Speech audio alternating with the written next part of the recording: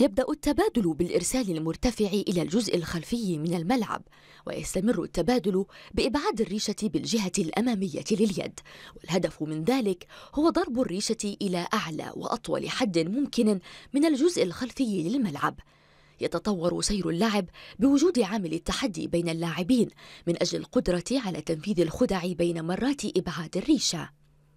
على سبيل المثال تغيير المضرب إلى اليد الأخرى وإرجاعه وتمرير المضرب خلف الظهر والجلوس أو الوقوف أو لمس الشبكة بين مرات إبعاد الريشة.